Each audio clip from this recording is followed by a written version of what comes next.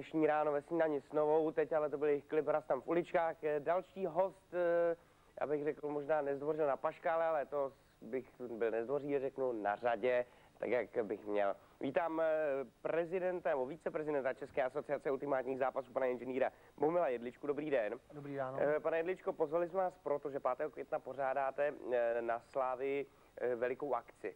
Ale ještě předtím, než se o ní zmíníme, řekněte nám, eh, co to vlastně jsou ultimátní zápasy. Tak ultimátní zápasy, nebo vlastně zápasy téměř bez pravidel, eh, jsou to vlastně takové srovnávací zápasy, kde eh, ty pravidla jsou velice, nebo je tam velice malé omezení.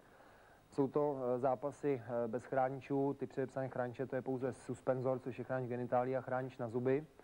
A jinak se vlastně zde může bojovat jakýmkoliv způsobem. Eh, Bojuje se v postoji, kde vlastně se může kopat, bouchat rukama, lokty, kolena. Následný nějaký přechod na zem, zde mají třeba větší výhodu potom třeba judisti nebo zápasníci, no a následný boj na zemi. No, Trvá to až do vzdání soupeře a teď právě toho 5. května na té slávy bude poprvé premiéra, protože tyhle ty zápasy se dělají v takovém osmihraném eh, ringu, vypadá to jako klec, protože je to spletiva. Je to z důvodu bezpečnosti, je to takový devítihraný oktagon a e, myslím si, že diváci, kteří tam přijdou, se mají opravdu na co těšit. Dobře, pátýho na Slávii. E, nicméně, pane inženýre, vy jste přivedl dva vaše svěřence, představte nám je. Tohle, tohle to je Daniel Barták a jeho sparring partner Martin Něrgeš, jinak Dan vlastně má za sebou tři e, vyhrané zápasy, vyhrál takovou malou pyramidu e, v Pardubicích a teď vlastně e, tam bude mít e, takový vložený zápas. Dobře, my vás poprosíme, pánové, o ukázku. Tam vlastně kluci ukážou trošičku takový ten způsob boje nebo způsob tréninku, který tam může probíhat. E, Mají to podle těch distanců, kdy vlastně můžou tam být údery e, nebo kopy, jak nohama. Tak vlastně jde o údery, e, o údery rukama na obličej,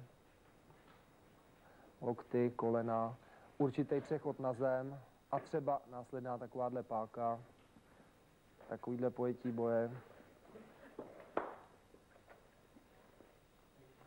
Jinak tam vlastně bude eh, to nejzajímavější, tam bude, tam bude pyramida, eh, osmi, osmi, eh, pyramida o osmi lidech. Eh, Znamená hlavní to tady vlastně ten soutěžní pyramidový systém. způsob boje, což je velice atraktivní a soutěží se o částku 100 000 korun. 100 takže 000 korun.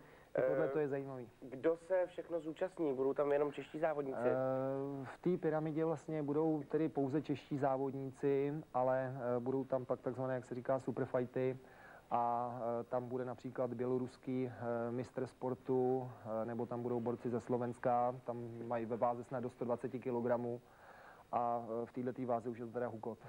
Dobře, no tak. Dobře, zveme vás tedy na 5. května do sportovní haly Slávie, říkám to Určitě. zimní stadion Zimní stadion, hokejová hala Slávě 5. května od 7 hodin, od 7 hodin. Večer teda. Ultimátní zápasy, vám pane inženýre děkuju, kluci vám taky děkuju, ať se vám daří, držíme vám palce. Eh, Teď přichází Hanka Šimková, tadyhle pomaloučku, ale teď už zrychlila, protože vám eh, řekne, kdo vyhrál soutěž o 5000 korun, aspoň toto kolo.